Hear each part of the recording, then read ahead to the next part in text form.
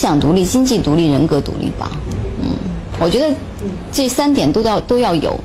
嗯，首先我觉得他一定是要建立在一个人格独立的基础上。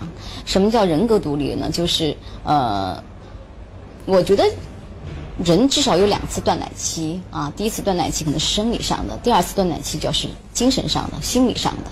那么你的你的人格独立了，比如说人格独立呢，要建立在价值观、生人生观跟世界观就是完整的，所以你人格就会是独立的。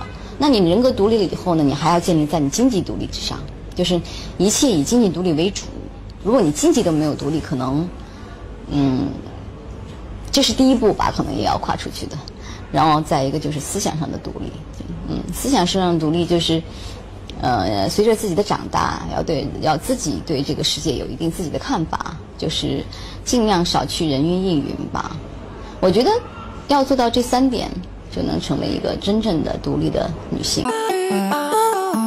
韩国人对对人的那个要求啊，真的是跟中国人完全不同。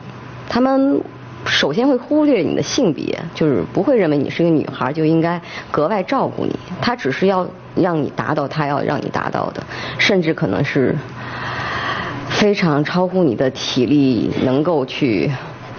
承受的东西，所以通过那段训练，我觉得对我以后的工作，至少我知道我能吃苦，我我会守纪律，我会跟大家配合，嗯。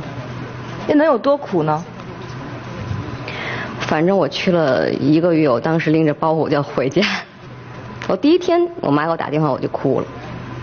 我放下包袱，第一件事是下坡跑步，围着可能要跑两千米。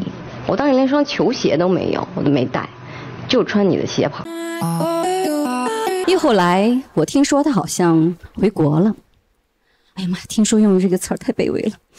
是的，因为他回国联系的第一个女孩不是我，我才恍然大悟，原来他早就劈腿了。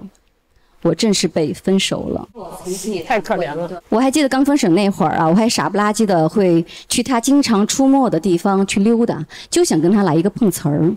如果他好死不死的真的出现了，我就立刻会跟我身边的朋友谈笑风生，然后把我最完美的左脸四十五度角显摆出来。娘们太漂亮了，嗯，这婆娘太好看了。如果她真的被勾上了，我就会优雅的起身，拿着我的小包，故意从她的身边经过，来一句：“你没在这耍？好巧哦，那你慢慢耍哈，我先走了。”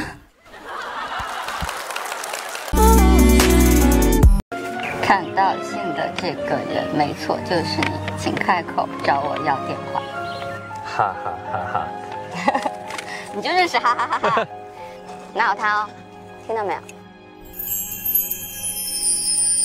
听到。多般配哈。